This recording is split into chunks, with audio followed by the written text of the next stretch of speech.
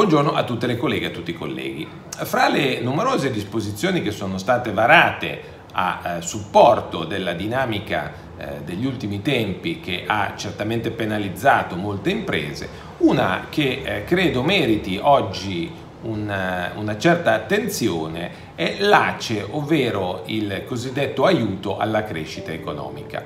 Lo spirito di questa norma eh, è legato all'agevolazione che vuole essere data ai soggetti IRES e alle imprese eh, individuali o, o, o, di persone in contabilità ordinaria, qualora queste eh, ricevano dai soci degli apporti a titolo di capitale.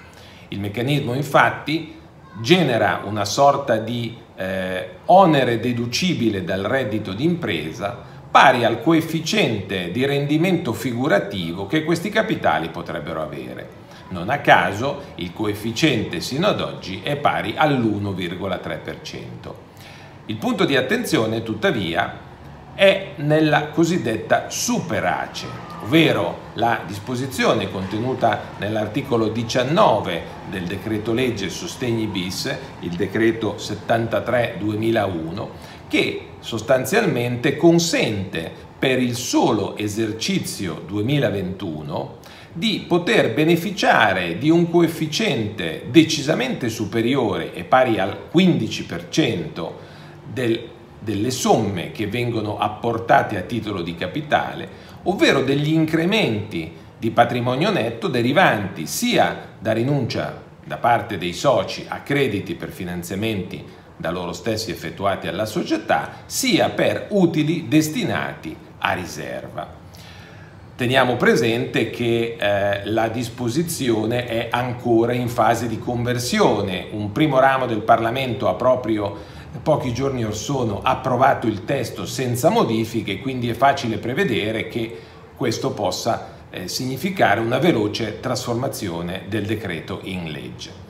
La norma è importante perché consente non solo di creare un onere deducibile dal reddito d'impresa, ma anche di poter trasformare, qualora vi sia incapienza rispetto al reddito, dette, detto beneficio in un credito d'imposta, credito che viene generato sulla base del coefficiente applicato ai conferimenti di capitale effettuati e poi eh, trasformato in imposta sulla base delle aliquote vigenti al 31-12-2020.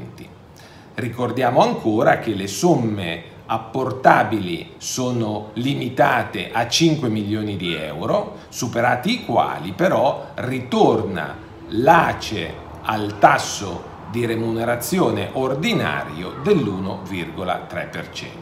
Mi pare una disposizione eh, agevolativa interessante e eh, applicabile in modo abbastanza semplice a tutti coloro che hanno la possibilità di farlo. Grazie.